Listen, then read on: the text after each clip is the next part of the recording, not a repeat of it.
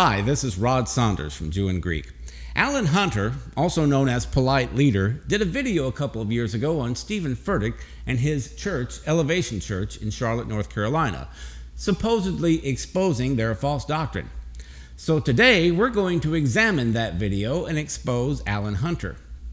First of all, in case you're not familiar with him, Alan is a Calvinist and a cessationist who sings the praises of the likes of Justin Peters and John MacArthur. Knowing that will help you to understand where he's coming from in his commentary. Now, in this first clip, Alan says that the statement of faith on Elevation's website seems okay, but this is due to file cabinet theology. Taking a cursory glance at the beliefs listed on their website, Christians would hardly find anything wrong with many of the statements. However, as a result of file cabinet theology, there is a darker side to elevation. File cabinet theology is a way of saying that the ministry statement of faith is merely a cover for people who promote heresy. Now, maybe there's some merit to that theory, but then again, maybe it's just a device to justify attacking people you disagree with when they clearly affirm all of the essentials of the faith, as Elevation Church does. Maybe their statement of faith is what they truly believe, and the examples of where you feel that they violate those doctrines are simply misunderstandings. Maybe instead of defaulting to condemnation mode, you should do the biblical thing and go to them and seek clarification before calling them heretics. Just a thought. In this clip, Alan says that Steven Furtick should consider what his elder, John MacArthur, says about him being unqualified for ministry. When Dr. MacArthur was asked his opinion about Steven Furtick, Pastor John's short reply was unqualified. Rather than self reflecting upon a senior elder's opinion of himself, Furtick took tremendous pride in this criticism and based the title of his book upon Pastor MacArthur's single word remark. Well, first of all, Johnny Mack is a Calvinist and Stephen Furtick isn't. He's in no way accountable to John MacArthur and has no obligation to receive any rebuke from him. Secondly, Steven Furtick has the same level of education that John MacArthur has a Master's of Divinity. Despite the fact that many refer to Johnny Mack as Dr. MacArthur, his highest earned degree is an MDiv.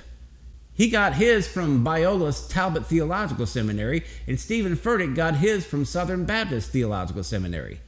So it's going to be hard to make the case that Steven Furtick is any less qualified for ministry than Johnny Mack was after 10 years of pastoring Grace Community Church.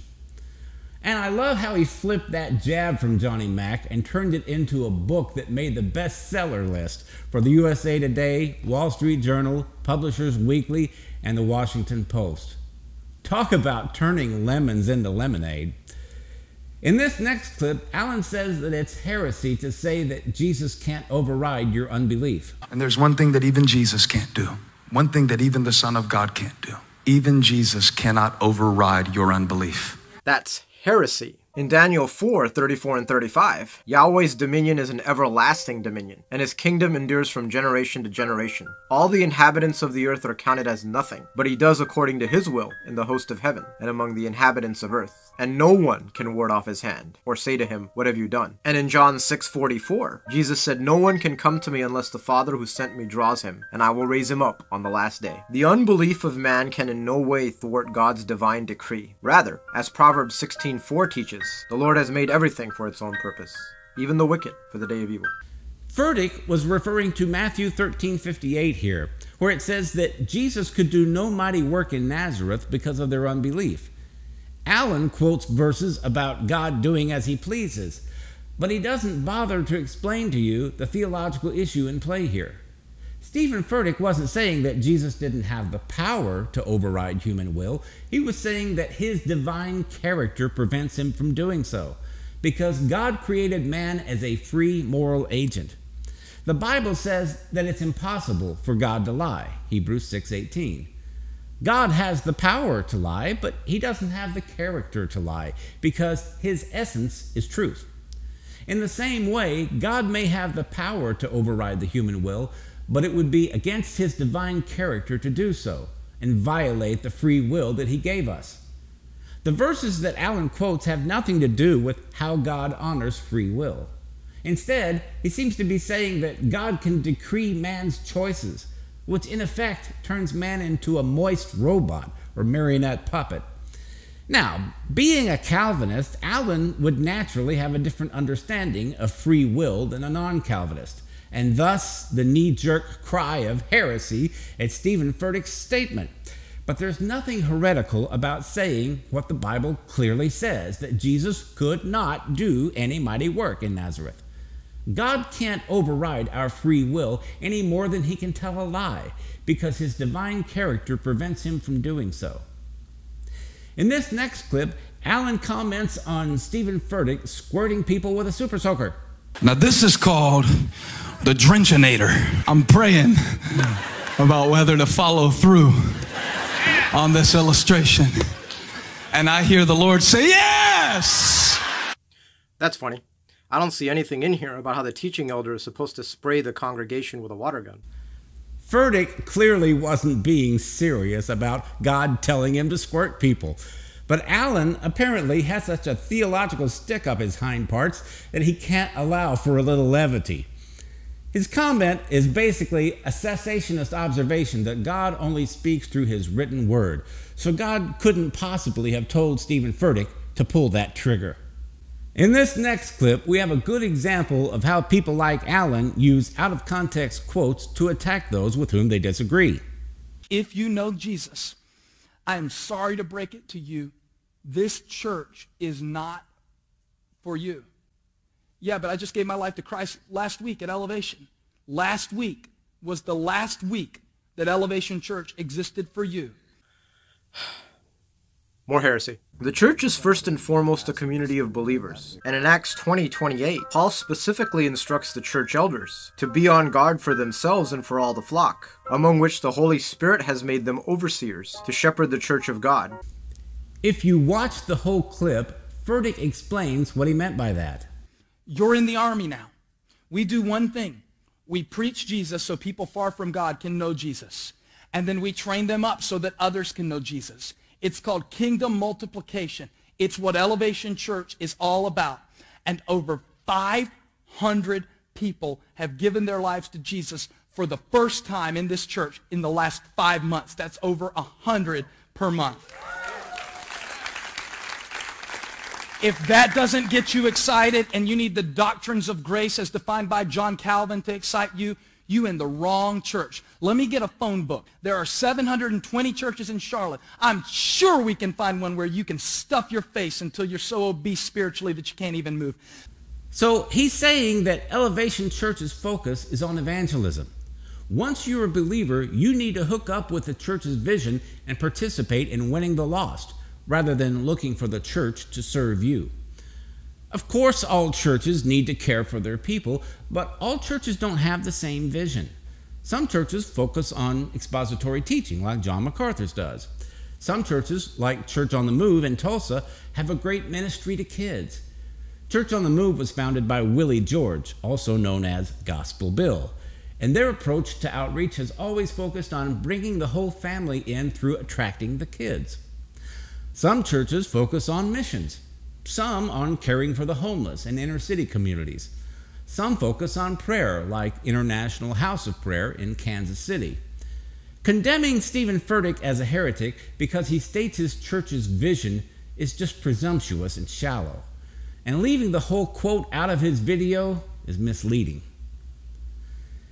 And then Alan goes on to tell us what the biblical model for church government is. Steven Furtick is more or less a word faith preacher whose sermons are full of heresy. An elevation church, rather than having a plurality of elders, who themselves are under the authority of a presbytery or congregation like the New Testament outlines, employs a CEO type model, where the single pastor possesses unquestionable power. But there is no consensus on the biblical structure of church government. In fact, the church primarily met in homes until the fourth century so, from that standpoint, most churches today are unbiblical, including John MacArthur's. Alan's comment about Steven Furtick being Word of Faith is nonsense. Steven Furtick isn't Word of Faith. He's not even a charismatic. He's a Baptist. But unlike a lot of Baptists, he's not so bogged down with dogma that he can't fellowship with people who don't believe like him on the non essentials. Maybe that's one of the keys to his success. Maybe others could learn a thing or two from Steven Furtick. Just a thought. And in this final clip, Alan gives us the best example of what I mean when I talk about covert Calvinism. If you're a fellow believer caught up with this organization, I strongly recommend that you try to find a solid Reformed church in your area so that you can accurately hear the true gospel preached week after week and be uplifted by others of like precious faith. He shows Dr. Michael Kruger from Reformed Theological Seminary in Charlotte telling people that they should leave Elevation Church and find a good Reformed church in that area. This is what these people do. For the most part, they don't evangelize, they proselytize. When was the last time you saw a Calvinist evangelistic crusade? Maybe on the mission field they focus on reaching the lost, but for the most part, they don't do that. They convert the converted to Calvinism. Elevation Church goes after the lost. They take the gospel to heathens in their community. But what Calvinists do is they get people to think that they're listening to false teaching or heresy and then they tell them that they need to go to a church where they can get sound theology. But of course, they fail to mention the fact that they believe in predestination and that they don't believe that Jesus died for everybody. This is why so many people have moved away from charismatic churches to reformed churches in the 21st century. It's a formula of misrepresent, condemn, redirect, and indoctrinate. And with those who don't know what they're doing, it's been quite effective. That's why I'm doing videos like this, to expose their MO. When somebody tells you that guy is teaching heresy, the first question you should ask is Is he giving me the proper context? Or is he taking the guy out of context? Going back to that reference to file cabinet theology at the start of the video, when a ministry provides you with a statement of faith, you have to assume that that's the more accurate representation of the ministry's beliefs. A statement of faith is done with planning and forethought and can be revised if necessary. When a speaker is addressing a crowd, it's easy to misspeak or leave yourself open to misinterpretation. You can't edit your comments like you can in a statement of faith. And people with no ethics can pounce on those missteps to brand you as a false teacher. When they tell you that the guy is a heretic, ask yourself is this an essential doctrinal issue?